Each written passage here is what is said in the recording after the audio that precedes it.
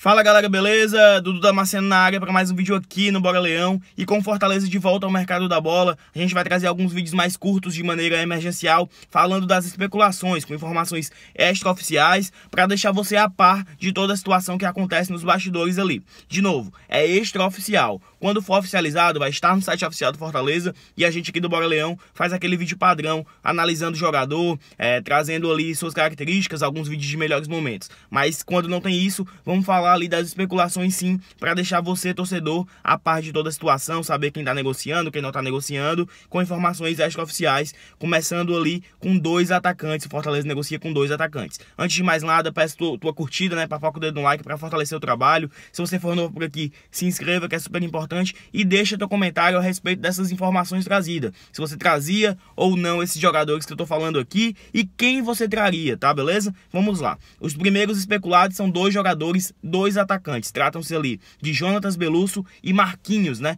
Jonatas Belusso, centroavante, que está no Vitória, que foi muito especulado no Fortaleza, que no começo da temporada acabou não fechando, né? Fechou com Vitória. É, teve uma contusão em maio, agora deve estar se recuperando, mas chega de contusão. Não sei se seria viável trazer um jogador vindo de contusão e que sei lá, esnobou o Fortaleza no começo do ano, né? Preferiu fechar com o Vitória. É inegável a qualidade técnica do Belusso, que se destacou muito bem no, no Londrina em 2017, na Série B de 2017, fazendo diversos gols, fazendo 11 gols para ser mais específico em 17 partidas. Então é um jogador bem interessante, mas eu não sei toda a circunstância que cerca ali o Belusso, né?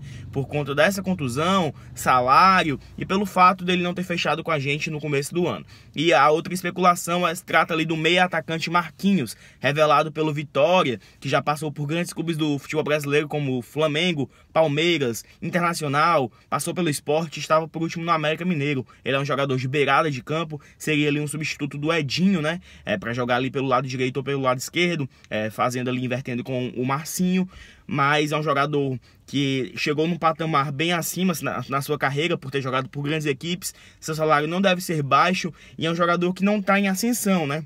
A gente sabe da qualidade técnica dele, assim como eu falei com com o Belusso, mas não é um jogador que está no, no, seu auge da carreira, ele já teve momentos melhores. De novo, é inegável a qualidade técnica do atleta. Não sei se teria ali a mesma explosão, a mesma velocidade do Edinho pela direita, porque é um jogador que já passou da casa dos 30 anos e não sei como seria viável, mas essas são as duas primeiras especulações do Fortaleza para contratar jogadores visando a sequência da Série B, já que teve tantas perdas, né? Teve o Oswaldo que foi para Tailândia, que já era certo certa a sua saída. Saiu agora o Edinho. O Gustavo teve a contusão séria, que fica ali de dois a três meses de fora. E Fortaleza se movimenta ali no mercado da bola. E eu trarei esses vídeos mais curtos. Se vocês gostarem, é claro, diga lá nos comentários também a tua opinião, se eu trago ou não esses vídeos do mercado da bola, com especulações, com notícias extraoficiais, ou se vocês preferem só quando tudo for oficializado, aí eu paro, esse é o único vídeo, o último vídeo dessa série do mercado da bola. Beleza, pessoal? Então é isso. Curte, se inscreve, compartilha. Valeu!